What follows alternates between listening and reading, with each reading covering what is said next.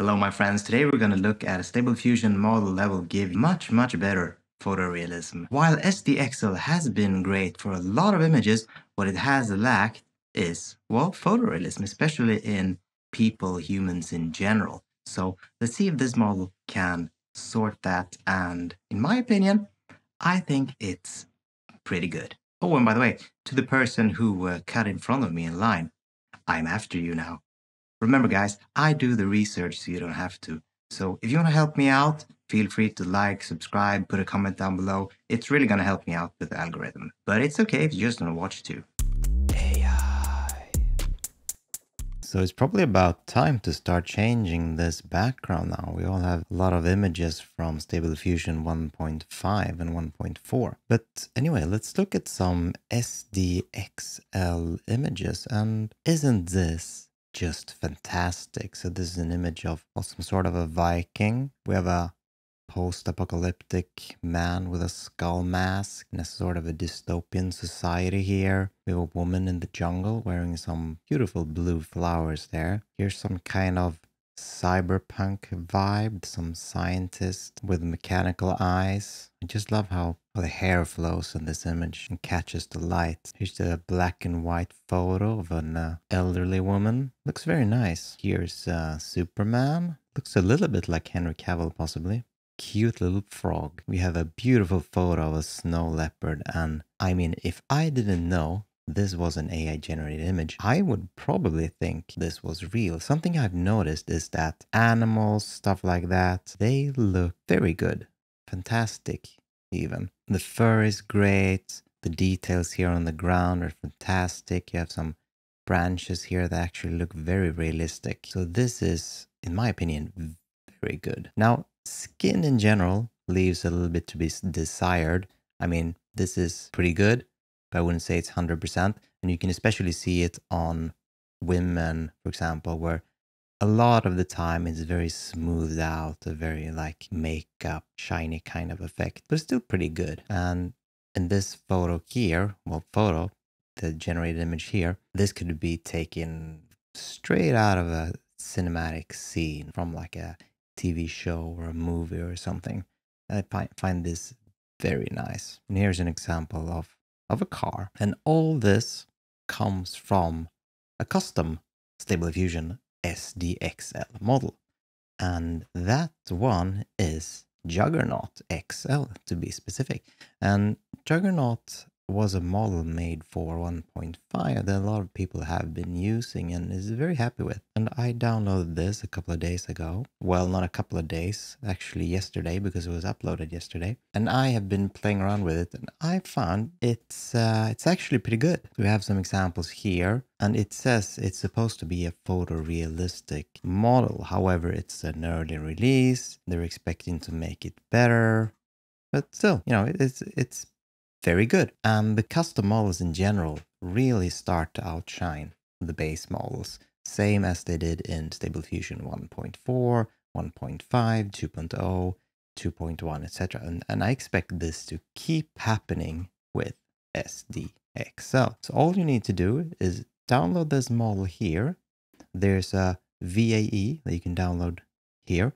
It's not required, but it's recommended. So those two files and there's also a Cinematic XL LoRa you can get from here. And once you have those three files, depending on what UI you're using right now, the folders are pretty similar.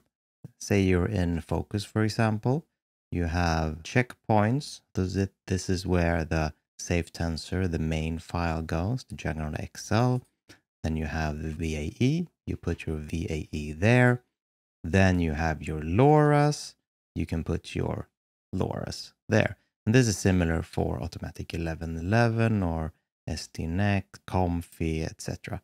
They all have a similar structure of how you're supposed to, or of where you're supposed to put your model. And once you've downloaded that and pull them right in, restart your Stable Diffusion, go into whatever it is you're using. Let's uh, have a raw candid cinematic scene of a Viking warrior and uh, let's generate two images here we are inside Fooocus which is a very easy to use interface without a lot of features. Now you can check my previous video on that up in the top right corner now.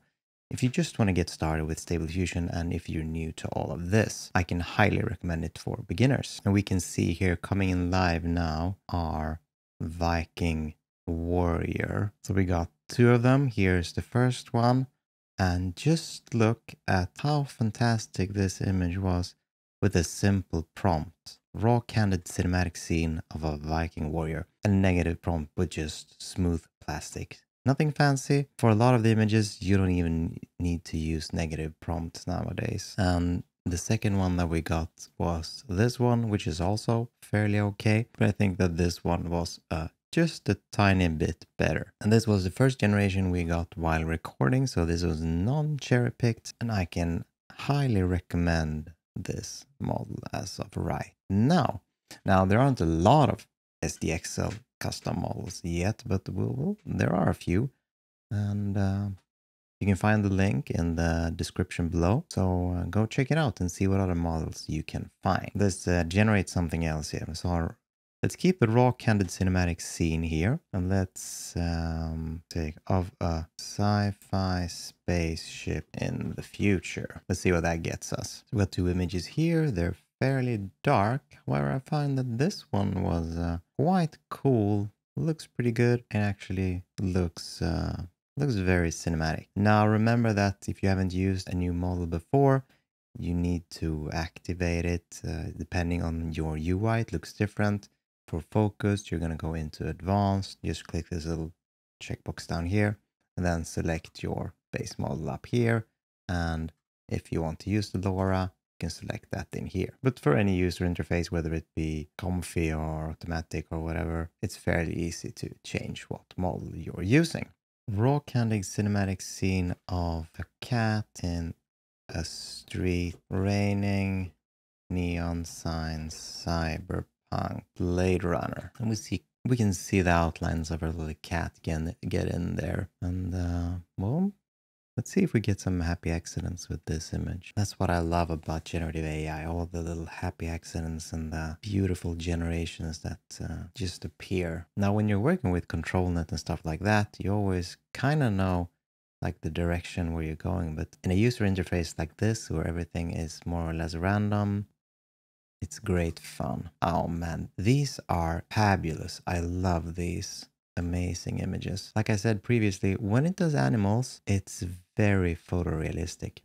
And that's not specific for Juggernaut, but for SDXL in, in general. But um, man, for sure, these are great. Hey, I hope you enjoyed this. Let me know your best model tips in the comments below.